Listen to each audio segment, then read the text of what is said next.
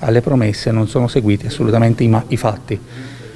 Spopolamento, si parla di spopolamento di penne di tanti paesi dell'area vestina, in realtà zero su infrastrutture, zero sulla sanità, tra l'altro sono stati tolti anche 12 milioni e mezzo di euro dall'ospedale San Massimo e il bando per i primi 15 milioni non c'è traccia se non sui giornali ormai da anni, addirittura il Presidente Marsiglio diceva ad aprile 2021 inizieranno i lavori al San Massimo di Penne. Siamo ad aprile 2022, non c'è neanche il bando per l'aggiudicazione dei lavori. Stessa cosa per le scuole, per l'Istituto Marconi. Due offerte per la progettazione.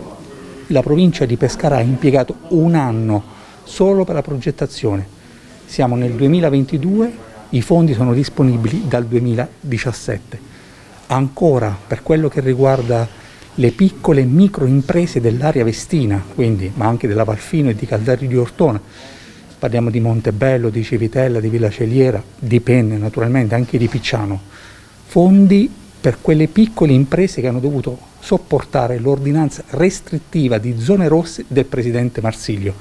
Una Pasqua 2020 tragica per moltissimi di loro, quello è il periodo importante, centrosinistra che si impegna per far stanziare nel 2020 1.260.000 euro per far ripartire quelle piccolissime imprese, anche agricole.